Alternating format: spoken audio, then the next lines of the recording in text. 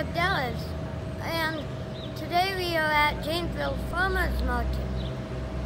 Come on, kids, and look at that. It kind of looks like an old camper home. What is it?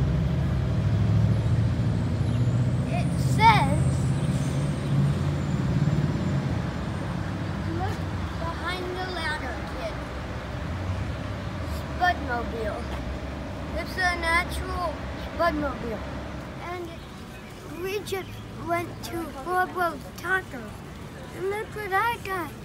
It's so little and tiny. It's a small little taco. So I cannot wait to taste it. How is it? Mm-hmm. Pretty good. Here at the Janesville Farmers Market, oh, there's all kinds of kinds of things Veggies, snacks, fruits, and even behind me, there's a bakery where you can get cookies and snacks. Look.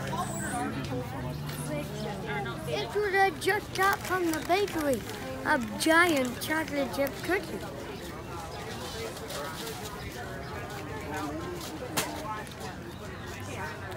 You can even get flowers downtown.